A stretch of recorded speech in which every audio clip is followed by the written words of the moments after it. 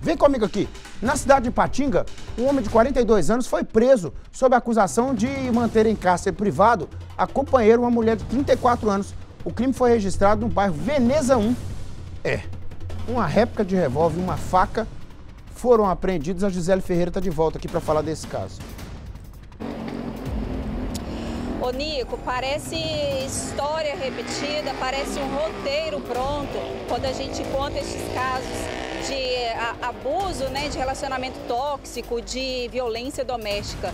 Olha só essa situação. A mulher de 34 anos foi quem chamou a polícia. Quando a polícia chegou na casa dela, é, os policiais encontraram ali o homem bastante nervoso, um homem de 42 anos bastante nervoso, não deixando ela falar. A polícia viu aquela situação e resolveu separar os dois. E aí ela contou que o companheiro dela estava proibindo ela alguns dias de sair de casa, tomou o celular dela, não deixou ela ter contato com ninguém. E ontem ele resolveu devolver o celular para ela, foi por isso que ela conseguiu falar com a polícia. Essa foi a versão de, dela apresentada para a polícia militar. E, a, inclusive, ela disse para a polícia que estava sendo ameaçada por ele com uma arma de fogo. A polícia fez buscas no local e encontrou uma arma, porém, não era bem uma arma, era um simulacro que a polícia encontrou ali. Essa, esse simulacro foi apreendido, também uma faca foi apreendida e a mulher, então, relatou isso à polícia. O homem disse o seguinte: olha só o que ele disse.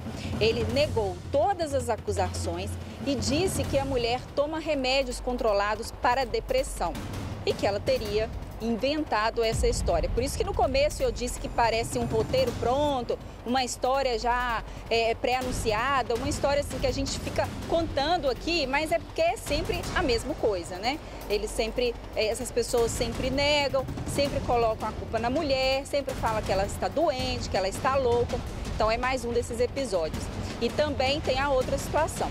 Ela se recusou ao atendimento, é, qualquer tipo de atendimento e a polícia pediu, perguntou para ela para onde que ela poderia ir, ela foi para a casa dos pais. Então é uma história assim cheia de detalhes e que possivelmente ainda não teve um fim que a gente espera, né, Nico? Volto com você. Ah, já o homem, ele foi levado para a delegacia de polícia civil. Enredo semelhante de algumas histórias que já apareceram aqui com personagens diferentes, né? A gente está chamando de personagem de história porque parece até ficção, mas é a vida real, é a vida real, né? É, começa tudo com I love com amor, e depois termina dessa forma.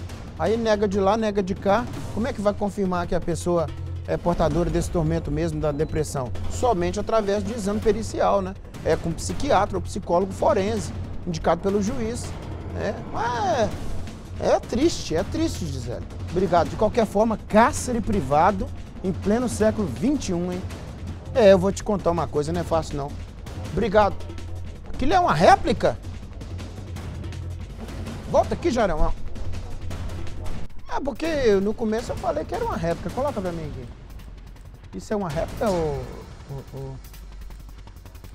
É, tá parecendo um revólver de verdade, mas... É, mas é réplica, tá É réplica. Réplica. É parecido. Ah, é, mas aí, Jarão, a pessoa pega aquilo ali, aponta pro outro. Vou... É réplica. Hã? Hein, Lamonier? Que é réplica? O que é, rapaz? Você tem que correr.